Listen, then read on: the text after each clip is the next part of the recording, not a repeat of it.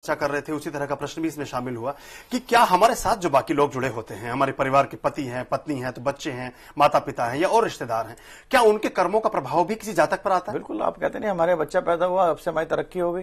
ये आदमी से हमें संबंध मिला मेरी तरक्की हो गई। इसको मैंने जान पहचान करा मैं नीचे घुस गया। नीचे हो गया। होता है। और यही कर्मों का एक इक्वेशन है जो कि प्रकृति ने बनाया हुआ भगवान ने जिसने बनाया हुआ। जी, जी। एक इक्वेशन बना हुआ जिस इक्वेशन को हम और आप तोड़ नहीं सकते हैं और ना कोई समझ सकता है। ये हम लोग जो कर रहे हैं शायद one percent of the entire thing जो भगवान ने बनाया नॉट इवन वन परसेंट सब मिलियन ऑफ़ वन परसेंट तो वो बिल्कुल होता। है ये इसका प्रभाव पड़ता है कौन आदमी हमारे जुड़ रहा है कौन नहीं जुड़ रहा है। कई बार डॉक्टर साहब होता क्या है कि हम ज़िंदगी में एक अच्छे नौकर हो सकते हैं नौकरी कहीं करें तो ज़्यादा लाभ कर सकते हैं जैसा आप परामर्श भी देते हैं लेकिन हम अपना बिज़नेस शुरू कर लेते हैं तो इस सब में ज्योतिष की भूमिका बहुत महत्वपूर्ण हो जाती है कि किसने बिज़नेस करना है किसने नौकरी ये ये चीज़ देख लेना चाहिए तो बिज़नेस और दोनों चीज़ अपने नेचर पर डिपेंड करता है। बिज़नेस हुई कोई कंसल्टेंसी हुई नौकरी हुई आजकल तो तरह तरह की चीज़ों बट एक होता है पैसा लगा के पैसा कमाना। जी जी। और पूरा ज़्यादा रिस्क लेना तो वो पथरी के पे डिपेंड करता है और आदमी को एक बार देख लेना चाहिए। जी, ये मतलब आप कहते हैं कि जब कारोबार की दुनिया में आदमी प्रवेश करे तो ज्योतिष का परामर्श अगर लेता है तो उसको लाभ मिलेगा। जी, एक एसएमएस हमें अभी मिला है राजस्थान से। इनकी जन्मतिथि है फोर्टीन ऑफ़ नवंबर 1978 14 नवंबर 1978 6:45 एम छह बजकर पैंतालीस मिनट प्रातःकाल, कोटा, राजस्थान। और ये कहते हैं कि ये मंगली है या नहीं ये जानना चाहते हैं और इनके फाइनेंशियल पोजीशन कैसी रहेगी भविष्य में ये जानना चाहते हैं। लास्ट डिजिट है वन थ्री फोर ज़ीरो चौदह नवंबर उन्नीस सौ अठहत्तर। टाइम क्या six forty five A M Kota में जन्म हुआ है। Kota Rajasthan. Six forty five six forty five इनका एक प्रश्न है कि ये पूछते हैं कि क्या मैं मंगली हूँ? इन्होंने अपना नाम हमें नहीं लिखा है हालाँकि सवाल ऐसा नहीं था आप चाहते तो नाम हमें भेज सकते थे। इन्होंने लिखा कि मैं क्या मेरी शादी कब तक हो पाएगी क्या मैं मंगली हूँ और मेरी फाइनेंशियल पोजीशन कैसी रहेगी। तीन चीज़ें इन्होंने जानना चाहिए अरे मंगली है। मंगली है जी। मंगली है जैसे मंगली कहते हैं इनके लग्न में मंगल है जी। तो ये मंगली है। जी मिस्टर या मिस जो भी आप सुन रहे हैं हमें वन थ्री फोर ज़ीरो आपका लास्ट डिजिट है आप मंगली हैं इसकी तस्दीक डॉक्टर साहब करते हैं जी। दूसरी पूछना चाहते हैं विवाह कब होगा और फाइनेंशियल पोजीशन कैसी रहेगी ज़िंदगी में? विवाह इनका अगला साल हो जाएगा। विवाह आपका विवाह अगला साल हो जाएगा। बिल्कुल जी अगले वर्ष आपके विवाह का योग बनता है और हमारी भी आपके लिए बहुत बहुत शुभकामनाएँ। एक वित्त आर्थिक स्थिति के बारे में थोड़ा संकेत पूछना चाहते हैं। उसमें भी संक्षेप में कुछ बता दीजिए।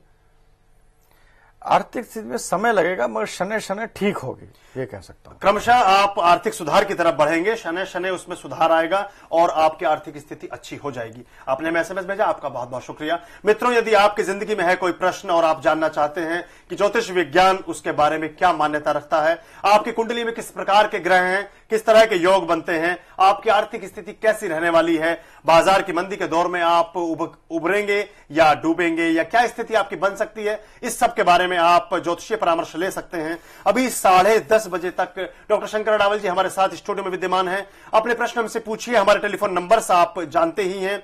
आप एसएमएस के माध्यम से भी इस कार्यक्रम में जुड़ सकते हैं। अपने मोबाइल में टाइप कीजिए, नाडी एन एनएडीआई दीजिए space, date of birth, time of birth, place of birth, आपका प्रश्न आपका नाम, शहर का नाम।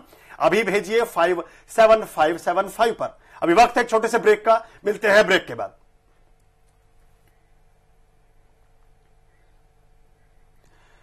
ब्रेक के बाद भृगुनाली ज्योतिष में आप सभी का पुनः हार्दिक स्वागत। मित्रों, हमारे साथ हैं डॉक्टर शंकर अडावल। आप ज्योतिष विज्ञान से जुड़े हुए प्रश्न हमसे पूछ सकते हैं, अपनी ज़िंदगी के उतार चढ़ाव के बारे में जान सकते हैं, आपके कारोबार की स्थिति के बारे में जान सकते हैं। डॉक्टर शंकर जी आपके प्रश्नों का देंगे सीधा जवाब। हमारे नंबर आप जानते ही हैं। एक और ज़रिया है हमसे संबंध स्थापित करने का। अपने मोबाइल में टाइप कीजिए नाड़ी, यानी एन एनएडीआई दीजिए स्पेस जन्म की तिथि, जन्म का समय, जन्म का स्थान, आपका सवाल, आपका नाम हमें अभी भेजिए। Five seven five seven five पर आप जो विवरण हमें देते हैं, उसके आधार पर आपकी खास जन्म पत्रिका बनाई जाती है और उसमें ग्रहों का विश्लेषण करने के बाद आपको बताया जाता है आपका भूत, भविष्य और वर्तमान। हमारे साथ ब्रेक पर जाते समय एक दर्शक जुड़ी थी, पूनम जी दिल्ली से, उनको शामिल करते हैं। पूनम जी, स्वागत है आपका भृगुनाली ज्योतिष में। Thank you sir ji. मेरा नाम पूनम है। अपनी जन्म की तिथि जन्म का समय और जन्म का स्थान बताइए। सर मेरी जन्म तिथि है तीस मई उन्नीस सौ पिचासी। Thirtieth of May nineteen eighty. Eighty five. Okay. उन्नीस सौ पिचासी तीस मई उन्नीस सौ पिचासी। हाँ जी सर समय बताइए पूनम जी। टाइम है साढ़े दस से साढ़े ग्यारह बजे रात को। Ten thirty to eleven thirty PM. हाँ जी। प्लेस बताइए कहाँ पे जन्म हुआ आपका? प्लेस है नरेला दिल्ली। नरेला दिल्ली में जन्म हुआ है। पूनम जी हैं तीस मई उन्नीस को इनका जन्म हुआ है साढ़े दस से साढ़े ग्यारह बजे रात्रि के समय दिल्ली में जन्म हुआ है। सवाल क्या पूछना चाहती हैं आप, आप बहुत ही इमोशनल हैं पूछिए। आप आपके सवाल से पहले जवाब डॉक्टर साहब दे रहे हैं सुनिए इनको। जी आप आप बताइए कुछ आप कह रहे थे। बोलिए बोलिए बोलिए। आप सवाल क्या आपका? सर मेरा सवाल ये है कि अभी मैं गवर्नमेंट जॉब कर रही हूँ कॉन्ट्रैक्ट बेस पे। कॉन्ट्रैक्ट मेरा- बेस पे कहीं सरकारी सेवा में काम करती हैं। सर मेरा इंटरेस्ट जो है लेक्चरशिप के लिए है। मैं किसी कॉलेज में लेक्चरशिप के लिए ट्राई कर रही हूँ। तो सर मैं जानना चाहती हूँ कि उसके कितने चांसेस है। आपको अगले साल ट्राई करिए आपको अगले साल पक्का आपको लेक्चरशिप मिल जाएगी। भाई इस साल भी हो सकता है दिसंबर सात के बाद योग सेवेंथ ऑफ़ दिसंबर हो सकता है उसके थोड़ा पहले इस साल से जून तक आपको मिल जाएगी। हाँ जी सर और सर और कुछ पूछना चाहती हैं पूनम जी? पंद्रह बीस दिन की इंतज़ार आपकी है फिर आपका टाइम शुरू हो जाता है। सात दिसंबर के बारे में डॉक्टर साहब कहते हैं उसके पहले भी हो सकता है मतलब you are sitting on the right time अभी राइट टाइम बैठे हैं टाइम शुरू हो गया आपका। सवाल आपने सही समय पे पूछा। कुछ और पूछना हो, चाहती हो जाएगा आपका। हाँ जी सर मैं ये पूछना चाहती हूँ सर मेरे घर वाले मेरी शादी के बारे में ज़्यादा चिंतित रहते हैं। आप नहीं रहती जरा भी चिंतित? कहती हैं घर वाले जो है शादी के बारे में चिंता करते हैं। कब तक शादी का योग है? सीधे सीधे नहीं पूछ पाई हैं आप थोड़ा इंडायरेक्ट वे में पूछ रही हैं।